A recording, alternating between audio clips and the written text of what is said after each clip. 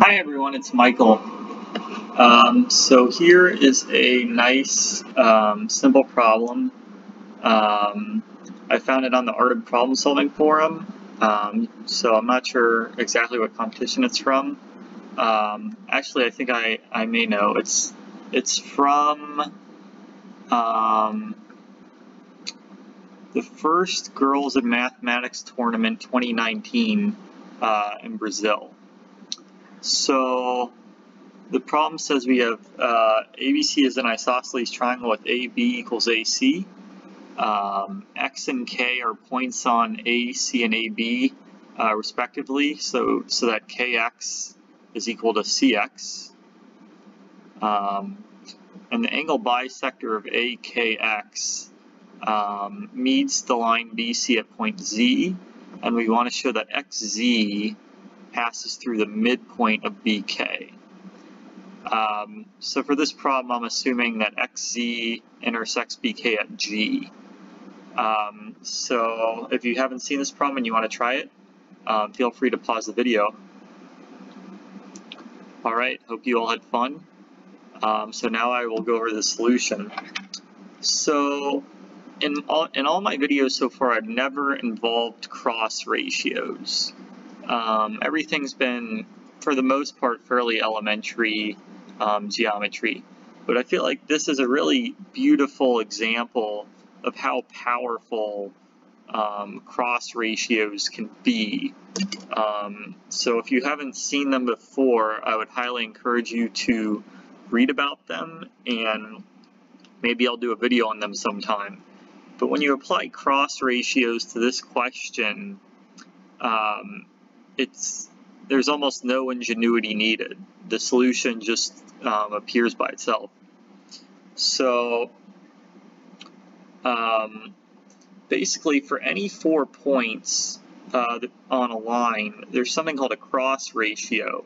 So for example, B, G, K, and A have a cross ratio, and C, X, H, A have a cross ratio um, and it matters the, the order in which those four points are labeled. Um, but if you have an external point um, and you draw lines through through four of the points, um, the four points that constitute the cross ratio, and, and you see where they intersect another line, uh, the four intersection points will end up having the same cross ratio. Um, so for this problem, for example, um, the cross ratio of B, um, B, K, G, and A has to be the same as the cross ratio of C, H, X, and A, because if you look at point Z and you draw the four lines through B, G, K, and A, um, it intersects the line AC at those four points. And it turns out that the, the cross ratio is preserved, so it always stays the same uh, when you do that. Um, so there's a lot of math behind this. I haven't even said so far what the cross ratio is, um, but that is a very cool property of it. Um, and if you want to read about it, um, I would I would definitely encourage it. Okay, so we have this equality. And now here I'm going to show you what the cross ratio actually is. Um, so basically, you, you, you, you take um, the two, the first two points, so B, B and K, and then you look at point G, um, what is the ratio that it splits that segment into? So it splits it into the ratio BG over uh, KG. And then you look at the next point A, and what ratio does that split it into? Well, a is not A does not lie on the segment BK. Um, but you can still kind of think about it as having splitting it up into the ratio um, AB over AK. So the cross ratio, it's kind of a ratio of ratios. So um, it would be like BG over KG divided by AB over AK um, which is the same as BG over KG times AK over AB. So that's what this cross ratio is. And we can use the same thing here. So if you start with point C and H, x divides that segment up in the ratio cx over hx. And then if you look at point A, it kind of divides, in quotes, the segment ch into the ratio ah over ac. Um, so these two cross ratios have to be equal by property of cross ratios, which I haven't proven here. Um, but it can be proven um, using some trigonometry um, and law of sines, um, which I won't get into, but um, yeah, maybe in another video.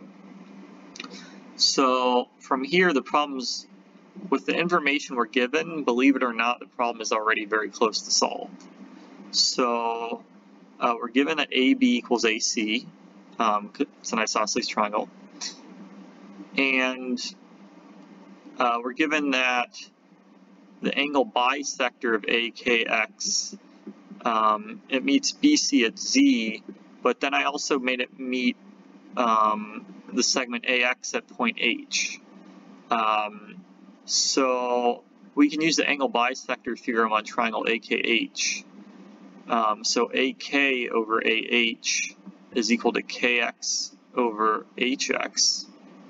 Okay and we're given one more piece of information in the problem, which is that kx equals cx. So I'm going to write that there. And believe it or not, when you combine all four of these equations, you get exactly what you want. So we want to show that xz passes through the midpoint of bk. So xz intersects bk at g. So we'd want to show that bg equals gk.